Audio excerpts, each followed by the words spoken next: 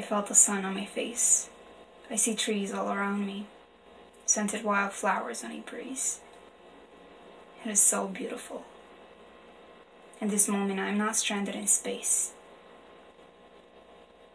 It's been 97 years since a nuclear apocalypse killed everyone on Earth, leaving the planet simmering in radiation.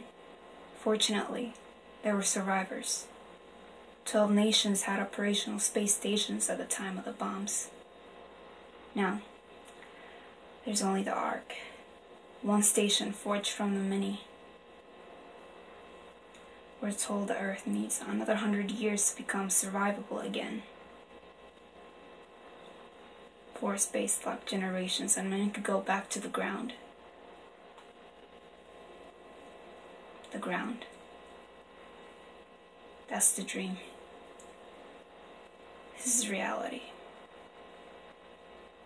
Reality sucks.